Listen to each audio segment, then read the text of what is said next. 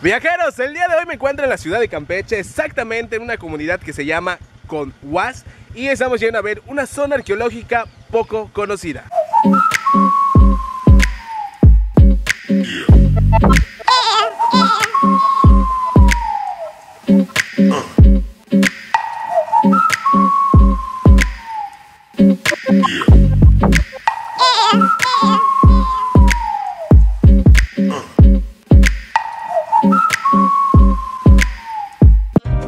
Tres horas y media de la ciudad de Campeche se ubica una sorprendente ciudad maya, pequeña y poco conocida, pero muy impresionante. Señoras y señores, sean bienvenidos a la zona arqueológica de Balam Ku.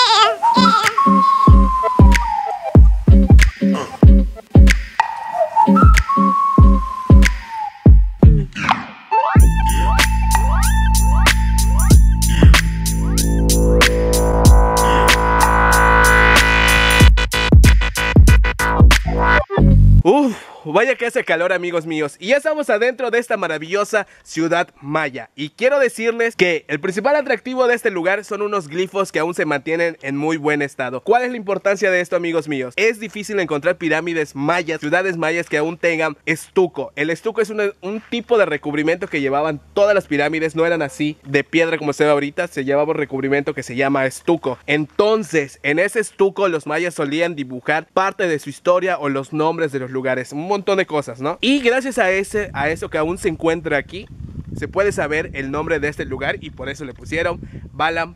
El nombre de esta ciudad maya, Balam se traduce en español como Templo del Jaguar y le asignaron este nombre porque justo encontraron jaguares plasmados en uno de sus edificios.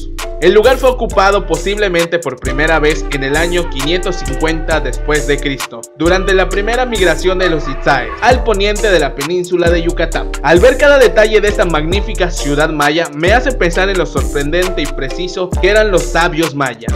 Es inevitable tratar de crear hipótesis sobre cómo crearon estos enormes edificios. El principal atractivo de esta ciudad maya son los jeroglíficos que se encuentran dentro de uno de los edificios y vaya que aún se conservan en muy buen estado. Es justo atrás de este templo que están viendo amigos míos donde vamos a encontrar los jeroglíficos mayas. Señoras y señores, estoy sorprendido porque estamos lo más cercano posible a los jeroglíficos que están aquí.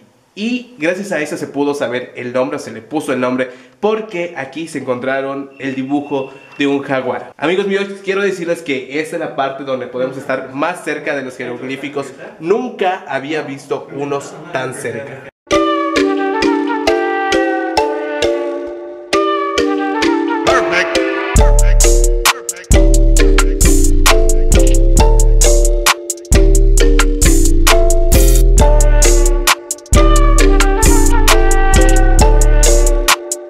Friso es el monumento más relevante de este sitio, hecho a base de estuco modelado y policromado, con una altura de 1.75 metros y una longitud de 18.80 metros, elaborado entre los años 550 y 650 después de Cristo. En el friso se pueden apreciar escenas de pasajes mayas, así como figuras zoomorfas, figuras humanas y representaciones del mundo conceptual de los antiguos y muy sabios mayas. Balamku es del estilo Petem. Esto quiere decir que se encuentra dentro de un área selvática, donde se puede disfrutar de flora y su fauna. En esta zona tienes que abrir muy bien los ojos. Tienes suerte, puedes ver una gran variedad de animales, entre ellos los perros de monte, venados y muy en especial los curiosos monitos. Este sitio arqueológico está abierto de lunes a viernes en el horario de 8 de la mañana a 5 de la tarde. El costo de acceso es de 45 pesos. Cuenta con servicio de sanitario y presta atención, no hay tiendas cerca de la zona. Para llegar a Balancú, desde la ciudad de Campeche debemos pasar por la ciudad de Champotón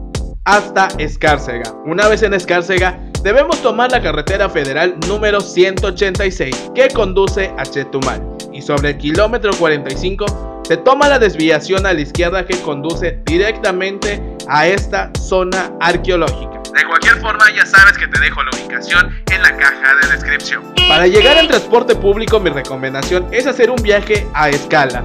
Puedes tomar un camión de segunda de Campeche a Escárcega con un costo de 110 pesos. Una vez en Escárcega puedes tomar camión o combi con un costo de 115 pesos. Si decides tomar camión debe de ser de segunda para que te pueda dar parada en la desviación de Balamku, donde deberás caminar 3 kilómetros para llegar a tu destino. Otra idea es pedir que te bajen en la comunidad de Conwat y ahí preguntar quién reta moto. Nosotros conseguimos una en 100 pesos, justo enfrente de las cabañas que llevan como nombre Kalak Mul. De todos modos te dejo la ubicación de las terminales y más detalles en la caja de descripción. Y pues nada amigos míos, hasta aquí el video de hoy. No olvides suscribirte seguirme en todas mis redes sociales y por supuesto dejarme un comentario que te pareció este hermoso lugar. Yo me despido de ti no sin antes recordarte que los sueños se cumplen. Nos vemos en el siguiente video. Chao.